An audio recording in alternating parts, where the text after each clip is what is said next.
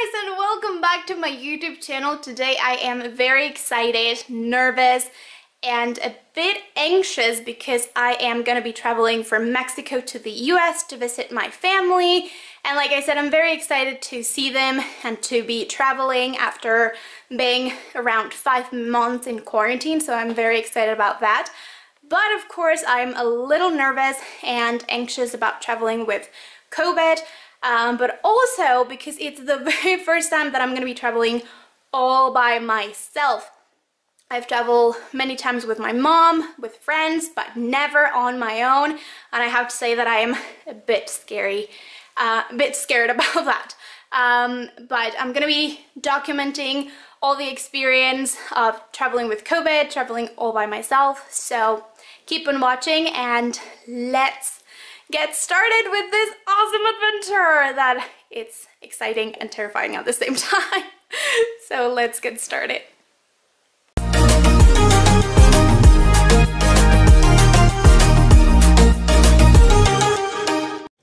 Hello! So we just got to the bus station and this little cutie is very excited and sad, I hope. And so am I! okay, let's go.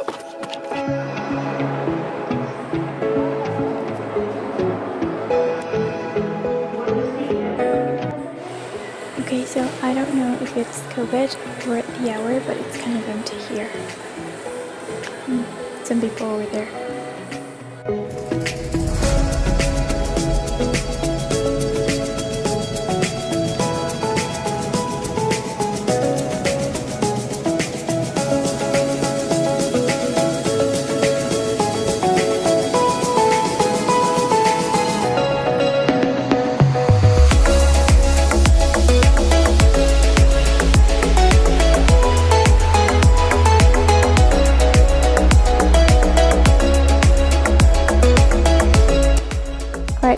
I just passed through security and their checkup.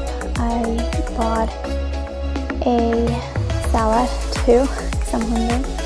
Uh, but people related, there is a lot of people. I'm not sure you can see. Let me see if I can switch. No, I can. Okay. I'll show you in a bit.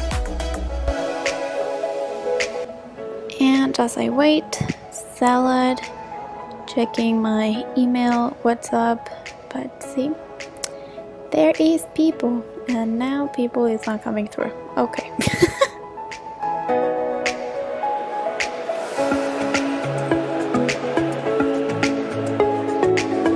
okay, so I just got to the reading room, and as you can see, there's like a middle sit empty situation, but check this out, there is actually a lot of people. I really thought it was gonna be like dead. And here am, just waiting.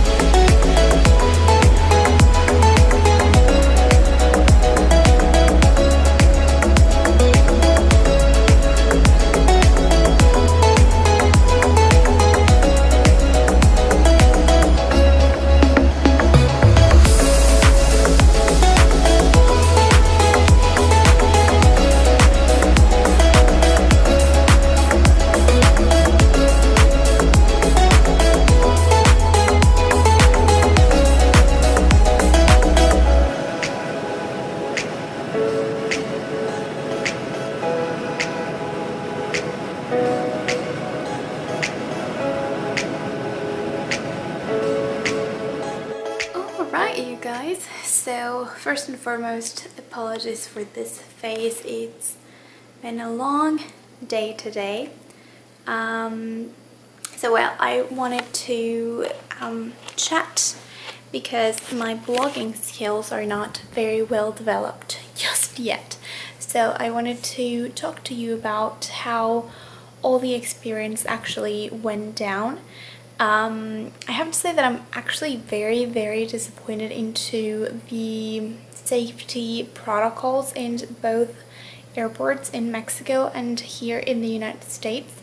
Um, in Mexico, they asked me to field um, like a questionnaire online um, where I was asked things like if I've traveled in the past 14 days, if um, if I presented any of the symptoms of COVID, if I was exposed to COVID and things like that. But they never check you. I think they only checked me once the temperature um, before passing security. Um, but when you enter the airport, like nobody even tells you whether or not you can enter the airport or not. So if we're just, if you just want to go and chill at the airport, you could, just for fun. Um, and then, I mean, within the airport and within the plane, I mean, I traveled to the US, so the um, airplane company was Delta, so it's an American company, um, and they have the policy of the middle road and middle road empty so um, you don't have like a traveler next to you um, so that is actually great. But one thing that happened is that from Puebla to Mexico City the bus was full. Um, thank goodness the seat next to me was empty but pretty much the entire um, bus was was full. So I mean what are the protocols there and the safety protocols there. I didn't see them. Um, you are supposed to wear the mask all the time, but you can eat inside of the um, bus as well as inside of the airplane. So you take the, mask off when you're eating, when you're drinking. So, I mean, I'm still kind of trying to figure out if it's worth um, the mask. I mean, it's worth it, but in this small moments when you take it out to eat or drink, like, what happens there? So, I really don't know. I don't know. Um, and when I arrived in the US, I had a little bit of an issue, but that had nothing to do with um, with COVID. Um, but they, they never checked if I had like high temperature or if I had like any weird thing. And you know, I would think that because I am going to be staying in the United States for a few uh, months, they would at least make sure that the people getting in the country are safe and are healthy, but nothing. Like zero thingies happening there. Um, they of course ask you to keep the distance, the six feet distance and the masks um, situation. But other than that, they don't even check your temperature let, um, and let alone do like a quick blood test if you had COVID.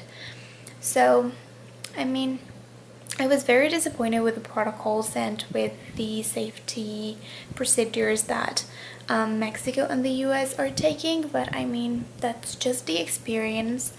Um, I actually thought that I was going to see the airport like kind of like super empty and like kind of um, in this apocalyptic vibe, but the airport was so full. Maybe a little less than typical, but it was like not a ginormous difference.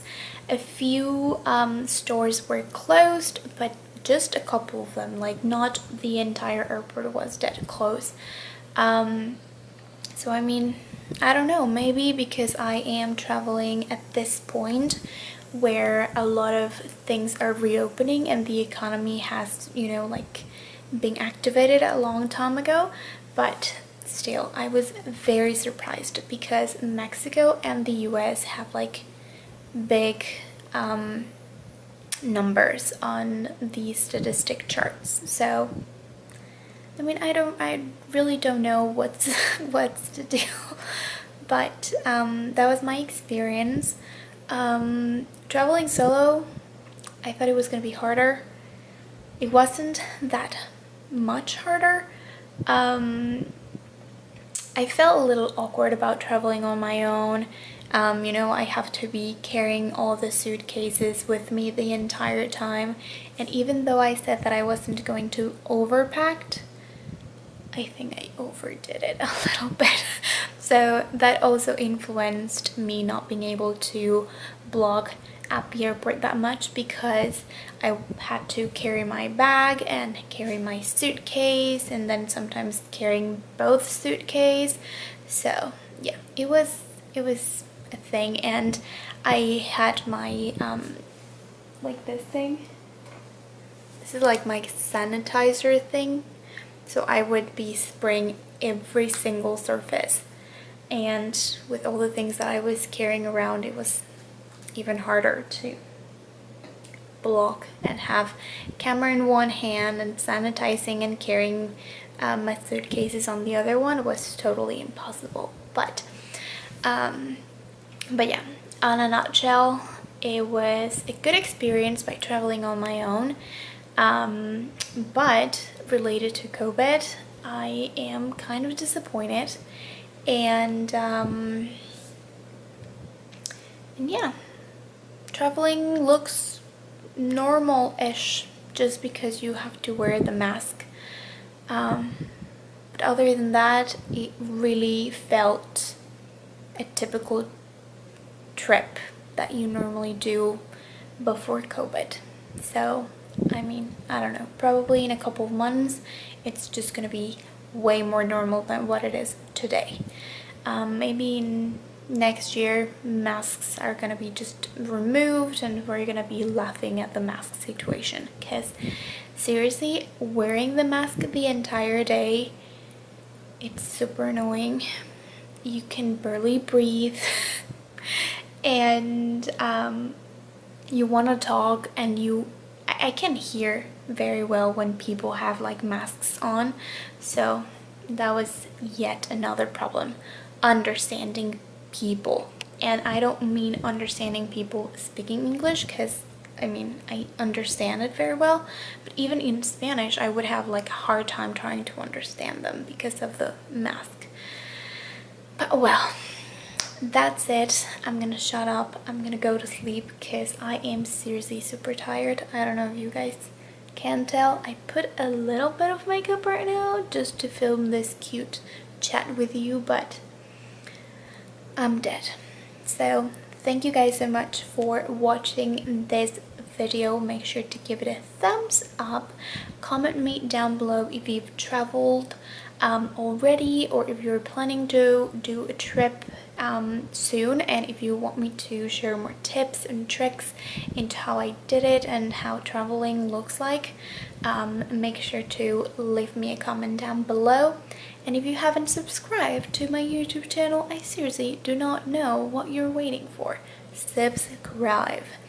And I'll see you next week. Oh, and by the way, big news, my blog is up and is live. So more info it's gonna be right over there. I will leave the link down below for that blog post so that you can check it out and read more info into this new normal traveling situation. So thank you guys for stopping by. I'll see you next week. Bye